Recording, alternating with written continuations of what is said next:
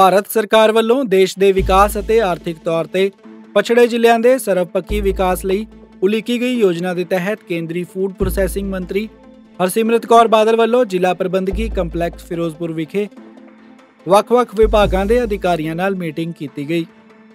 ਇਸ ਮੌਕੇ ਉਹਨਾਂ ਨਾਲ ਆਰ ਕੇ ਚੌਧਰੀ, ਸੰਯੁਕਤ ਸਕੱਤਰ ਭਾਰਤ ਸਰਕਾਰ, ਡਿਪਟੀ ਰਾਮਵੀਰ ਆਈਏਐਸ ਵੀ ਹਾਜ਼ਰ ਸਨ। ਇਸ ਮੌਕੇ ਹਰਸਿਮਰਤ ਕੌਰ ਬਾਦਲ ਵੱਲੋਂ ਫਿਰੋਜ਼ਪੁਰ ਜ਼ਿਲ੍ਹੇ ਨੂੰ ਵਿਕਸਿਤ ਜ਼ਿਲ੍ਹਿਆਂ ਵਿੱਚ ਸ਼ਾਮਲ ਕਰਨ ਲਈ ਜ਼ਿਲ੍ਹੇ ਵਿੱਚ ਵਿਕਾਸ ਲਈ ਵੱਖ-ਵੱਖ ਕੇਂਦਰੀ ਸਕੀਮਾਂ ਨੂੰ ਲਾਗੂ ਕਰਨ ਸੰਬੰਧੀ ਵਿਚਾਰ ਚਰਚਾ ਕੀਤੀ ਗਈ। ਪੱਤਰਕਾਰਾਂ ਨਾਲ ਗੱਲਬਾਤ ਕਰਦਿਆਂ ਹਰਸਿਮਰਤ ਬਾਦਲ ਨੇ ਦੱਸਿਆ ਕਿ ਪ੍ਰਧਾਨ ਮੰਤਰੀ ਨੇ 1 ਸਾਲ ਦਾ ਸਰਵੇ ਕਰਵਾ ਕੇ ਕੁਝ ਜ਼ਿਲ੍ਹੇ ਚੁਣੇ ਨੇ, ਜਿਨ੍ਹਾਂ ਜ਼ਿਲ੍ਹਿਆਂ ਦਾ ਵਿਕਾਸ ਕਰਵਾਇਆ ਜਾਏਗਾ। 150 ਜ਼ਿਲ੍ਹਿਆਂ ਵਿੱਚੋਂ ਪੰਜਾਬ ਦੇ ਫਿਰੋਜ਼ਪੁਰ ਅਤੇ ਮੋਗਾ ਦੇ ਜ਼ਿਲ੍ਹਿਆਂ ਲਈ ਡਿਊਟੀ ਲੱਗੀ ਹੈ। ਉਹਨਾਂ ਕਿਹਾ ਕਿ ਮੋਨੀਟਰਿੰਗ ਕੀਤੀ ਜਾਏਗੀ ਤਾਂ ਜੋ ਇਹਨਾਂ ਜ਼ਿਲ੍ਹਿਆਂ ਦਾ ਵਿਕਾਸ ਹੋ ਸਕੇ। ਪ੍ਰਧਾਨ ਮੰਤਰੀ ਨਰਿੰਦਰ ਮੋਦੀ ਜੀ ਨੇ ਇੱਕ ਸਾਲ ਦਾ ਸਰਵੇ ਕਰਾ ਕੇ ਕੁਝ ਇਹੋ ਜਿਹੇ ਡਿਸਟ੍ਰਿਕਟਸ ਚੁਣੇ ਨੇ ਜਿਨ੍ਹਾਂ ਡਿਸਟ੍ਰਿਕਟਸ ਵਿੱਚ ਕਈ ਚੀਜ਼ਾਂ ਦੇ ਇੰਪਰੂਵਮੈਂਟ ਆਪਾਂ ਰਲ ਮਿਲ ਕੇ ਕਰੀਏ। ਸੋ ਔਰ 150 ਡਿਸਟ੍ਰਿਕਟਸ ਵਿੱਚੋਂ ਫਿਰੋਜ਼ਪੁਰ ਤੇ ਮੋਗਾ, ਦੋ ਜਿਹੜੇ ਪੰਜਾਬ 'ਚ ਨੇ, ਉੱਥੇ ਡਿਊਟੀ ਸਾਡੀ ਲੱਗੀ ਹੈ ਕਿ ਸਾਰੇ ਪੈਰਾਮੀਟਰ ਜਿਹੜੇ ਮੇਨ ਜਿਹਦੇ ਨਾਲ ਉਹ ਡਿਸਟ੍ਰਿਕਟ ਦੇ ਵਿਕਾਸ, ਤੋਲਿਆ ਨਾਪਿਆ ਜਾ ਸਕਦਾ ਜਿਵੇਂ health education agriculture skill development infrastructure irrigation so ਇਹਨਾਂ ਦੇ ਉੱਤੇ ਸਾਰਾ ਦੇਖਿਆ ਜਾਊਗਾ ਕਿ ਅੱਜ ਦੀ ਡੇਟ 'ਚ ਕੀ ਹੈ ਤੇ ਇਹਦੀ ਰੈਗੂਲਰ ਮੋਨੀਟਰਿੰਗ ਕਰਕੇ ਸਾਡੀ ਕੋਸ਼ਿਸ਼ ਹੋਊਗੀ ਕਿ ਕਿਵੇਂ, ਕਿਸ ਮਦਦ ਦੇ ਨਾਲ ਆਪਾਂ ਰਲ ਮਿਲ ਕੇ ਇਹਨਾਂ ਪੈਰਾਮੀਟਰਸ 'ਚ ਇਹਨਾਂ ਦੋ ਡਿਸਟ੍ਰਿਕਟਸ ਨੂੰ ਇੰਪਰੂਵ ਕਰ ਸਕਦੇ ਹਾਂ। ਸੋ ਅੱਜ ਉਹਦੀ ਪਹਿਲੀ ਮੀਟਿੰਗ ਹੈ।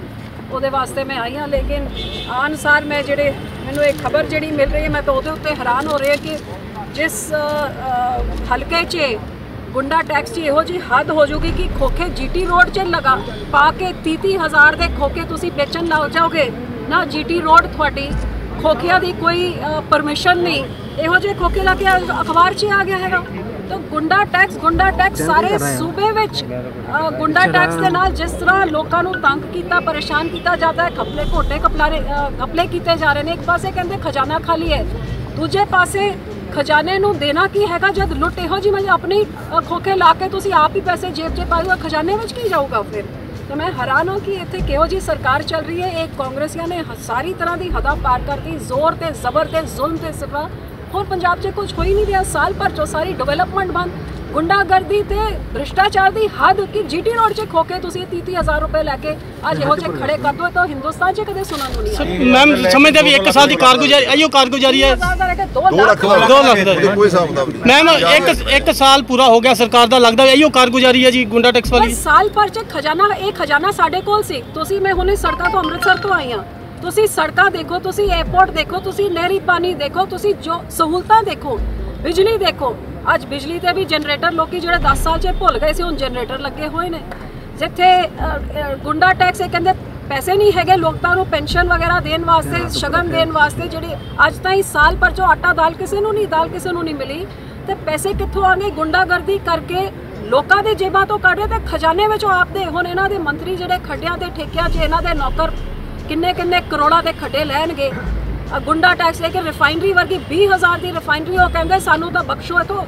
ਸੁਪਰੀਮ ਅਤੇ ਹਾਈ ਕੋਰਟ ਦੇ ਜੱਜ ਨੂੰ ਲਿਖ ਕੇ ਦਿੱਤਾ ਹੈ ਕਿ ਤੁਹਾਡੇ ਮੰਤਰੀ ਤੇ ਸੀਐਮਓ ਤੋਂ ਡਾਇਰੈਕਟ ਇੱਥੇ ਗੁੰਡਾ ਟੈਕਸ ਸਾਡੇ ਤੋਂ ਇਹੋ ਜਿਹਾ ਵਸੂਲਿਆ ਜਾ, ਸਾਡਾ ਦਰ- ਦਰਵਾਜ਼ਾ ਤਾਂ ਪਿਛਲਾ ਗੇਟ ਹਰਿਆਣੇ ਨਾਲ ਜੋੜ ਦੋ, ਰੇਤਾ ਬਜਣੀ ਦਾ ਹੱਦ ਕਰਦੀ ਹੈ।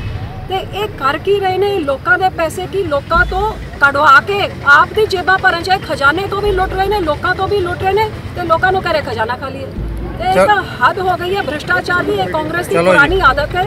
ਇਹਨਾਂ ਨੂੰ ਭ੍ਰਿਸ਼ਟਾਚਾਰ ਦੀ ਬਿਮਾਰੀ ਹੈਗੀ। ਕਾਂਗਰਸ ਭਾਵੇਂ ਕੇਂਦਰ ਦੀ ਹੋਏ ਭਾਵੇਂ ਕਿਸੇ ਰਾਜ ਦੀ ਨਾ ਭ੍ਰਿਸ਼ਟਾਚਾਰ ਦੀ ਬਿਮਾਰੀ ਹੈਗੀ। ਲੇਕਿਨ ਅਫਸੋਸ ਕਿ ਜਿਹੜੇ ਮੁੱਖ ਮੰਤਰੀ ਨੇ ਝੂਠੇ ਲਾਰੇ ਲੱਪੇ ਲਾ ਕੇ ਸਰਕਾਰ ਬਣਾਈ ਸੀ ਅੱਜ ਘੱਟ ਤੋਂ ਘੱਟ ਗੁਟਕਾ ਸਾਹਿਬ ਦੀ 100 ਖਾ ਕੇ ਤੁਸੀਂ ਤਾਂ ਨਸ਼ੇ ਖਤਮ ਕਰਨ ਦੀ ਕੀ ਗੱਲ ਕਰਦੇ ਸੀ? ਭ੍ਰਿਸ਼ਟਾਚਾਰ ਤਾਂ ਤੁਸੀਂ ਕਿਹਾ ਹੀ ਨਹੀਂ ਸੀ ਕਿ ਤੁਸੀਂ ਕਰੋਗੇ। ਜਿਹੜਾ ਨਹੀਂ ਕਿਹਾ ਸੀ ਔਰ ਰਲ ਕੇ ਉਹ ਹੈ ਬਿਲਕੁਲ ਸ਼ਰੇਆਮ ਭ੍ਰਿਸ਼ਟਾਚਾਰ ਚੱਲੇ ਤੇ ਜਿਹੜਾ ਕੁਝ ਕਿਹਾ ਸੀ ਉਹਦੇ ਵਿੱਚੋਂ ਇੱਕ ਵੀ ਨਹੀਂ ਇੱਕ ਸਾਲ ਦੀ ਇਹਨਾਂ ਦੀ ਰਿਪੋਰਟ ਕਰ ਜ਼ੀਰੋ ਹੈ ਜੀ। ਸੰਗਰੂਰ ਦੇ ਵਿੱਚ ਇੱਕ ਸਾਲ ਦੇ ਵਿੱਚ। ਦੇਖੋ ਮੈਂ ਤਾਂ ਵਿਰੋਧੀ ਧਿਰ ਹੋਵਾਂਗੀ ਤੁਸੀਂ ਮੈਂ ਕੋ ਤੁਸੀਂ ਮੈਨੂੰ ਕਹਿ ਦਿਓ ਇਹਨਾਂ ਦੀ ਰਿਪੋਰਟ ਕਾਰਡ ਤੁਸੀਂ ਦੱਸੋ। ਕਿਸਾਨਾਂ ਦੇ ਕਰਜ਼ੇ ਮਾਫ ਕਰਨ ਨੂੰ ਕਿਹਾ ਸੀ। ਇੱਕ ਕਿਸਾਨ ਖੜਾ ਕਰਕੇ ਦਿਖਾ ਦਿਓ ਜੇ ਇੱਕ ਵੀ ਹੈਗਾ ਤਾਂ ਮੈਂ ਇੱਕ ਨੰਬਰ ਦੇ ਦਾਂਗੀ। ਜ਼ੀਰੋ। ਨੌਕਰੀ ਕਿਹਨੂੰ ਮਿਲੀ ਹੈ? ਇੱਕ ਬੰਦੇ ਨੂੰ ਮਿਲੀ ਹੈ? ਜ਼ੀਰੋ ਬੰਦੇ ਨੂੰ ਨੌਕਰੀ ਮਿਲੀ ਹੈ? ਇਹਨਾਂ ਨੇ कैसे ਮੋਬਾਈਲ ਫੋਨ ਦੇਣਗੇ। ਇੱਕ ਨੌਜਵਾਨ ਦਿਖਾ ਦਿਓ ਜਿਹਨੂੰ ਮੋਬਾਈਲ ਫੋਨ ਮਿਲਿਆ ਜ਼ੀਰੋ ਮਿਲਿਆ ਨਾ।